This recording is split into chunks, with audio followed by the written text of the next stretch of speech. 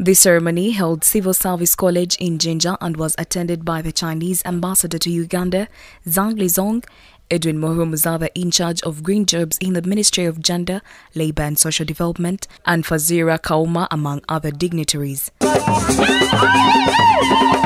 The third Deputy Prime Minister, Rukia Nakadama, urged youth and students to expand the use of social media to include product marketing and promotion within their groups and communities. She advised the beneficiaries to use ICT and innovation purposes and new product development, emphasizing the reality of making money through YouTube and other channels. ICT is a major driver of development in today's global economy.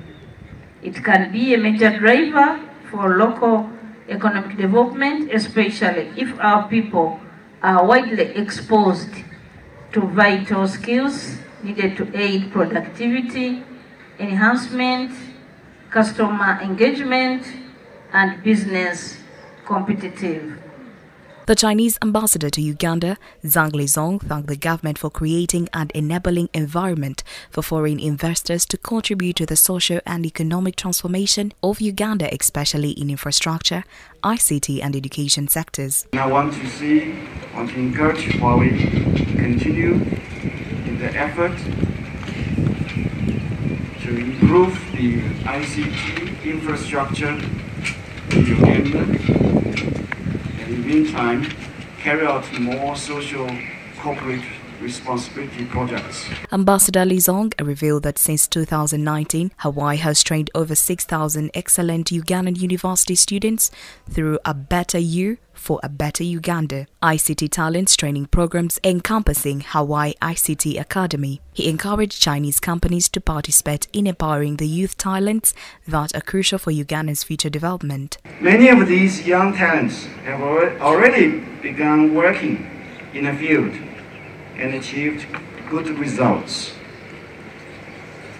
And in Huawei, Uganda, we have seen a fine example how a Chinese company has faithfully implemented the social corporate responsibility projects and have benefited a large amount of the young people. This project aims to empower women and youth in informal sectors by providing them with essential digital skills, helping them to expand their small businesses and grow their economic opportunities. According to Busoga Consortium's Director General, Anthony Mola, the DigiTruck project that started in Busoga and will be rolled out in other parts of the country. Particularly on this special occasion, we are gathered here to celebrate some of our pioneers of the DIG Track ICT